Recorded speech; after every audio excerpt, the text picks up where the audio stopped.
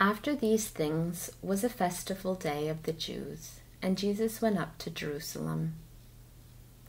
Now there is at Jerusalem a pond called Probatica, which in Hebrew is named Bethsaida, having five porches.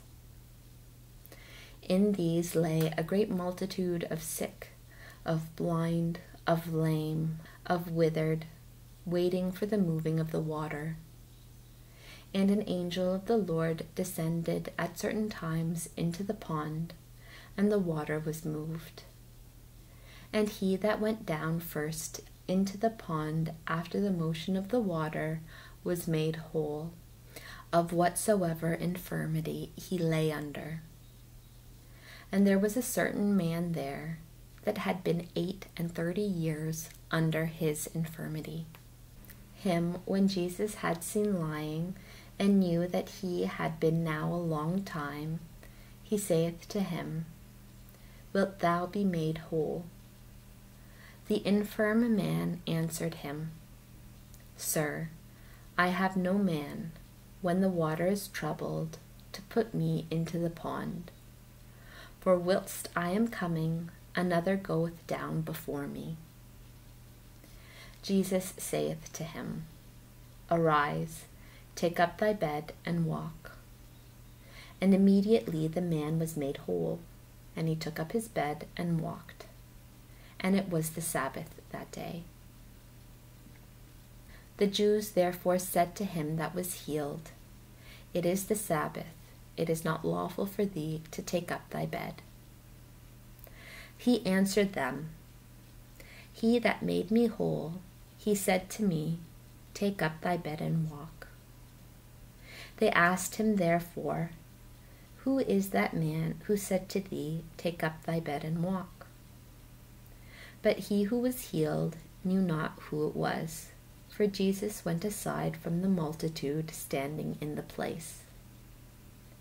Afterwards Jesus findeth him in the temple, and saith to him, Behold, thou art made whole, sin no more, lest some worse thing happen to thee.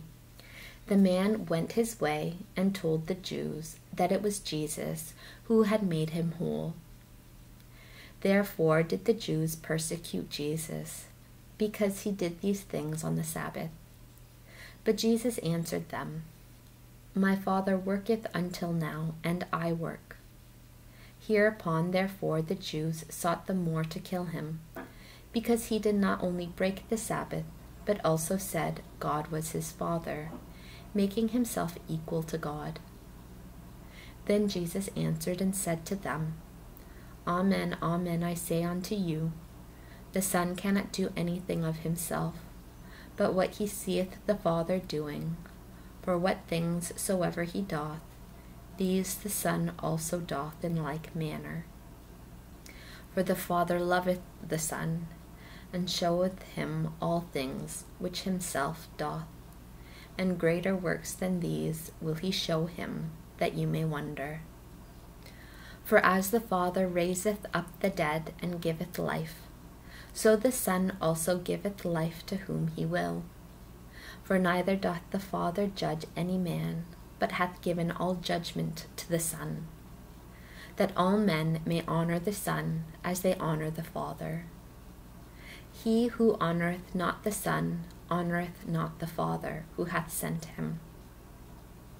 Amen, amen, I say unto you, that he who heareth my word and believeth him that sent me hath life everlasting, and cometh not into judgment but is passed from death to life. Amen, amen, I say unto you, that the hour cometh, and now is, when the dead shall hear the voice of the Son of God, and they that hear shall live. For as the Father hath life in himself, so he hath given the Son also to have life in himself. And he hath given him power to do judgment because he is the Son of Man. Wonder not at this, for the hour cometh wherein all that are in the graves shall hear the voice of the Son of God, and they that have done good things shall come forth unto the resurrection of life, and they that have done evil unto the resurrection of judgment. I cannot of myself do anything. As I hear, so I judge, and my judgment is just, because I seek not my own will, but the will of him that sent me. If I bear witness of myself, my witness is not true. There is another that beareth witness of me, and I know that the witness which he witnesseth of me is true. You sent to John, and he gave testimony to the truth. But I receive not testimony from man, but I say these things that you may be saved.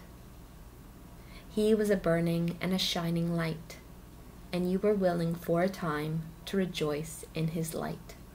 But I have a greater testimony than that of John. For the works which the Father hath given me to perfect, the works themselves which I do, give testimony of me that the Father hath sent me. And the Father himself who hath sent me hath given testimony of me. Neither have you heard his voice at any time, nor seen his shape.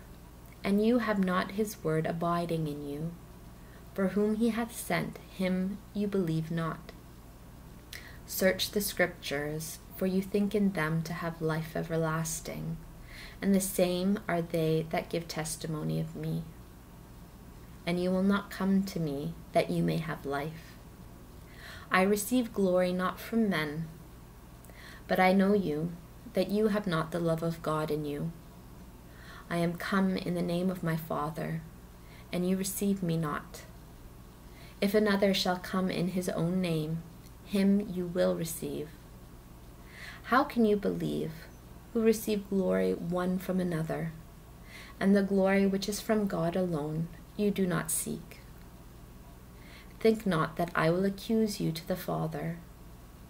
There is one that accuseth you, Moses, in whom you trust. For if you did believe Moses, you would perhaps believe me also, for he wrote of me. But if you do not believe his writings, how will you believe my words?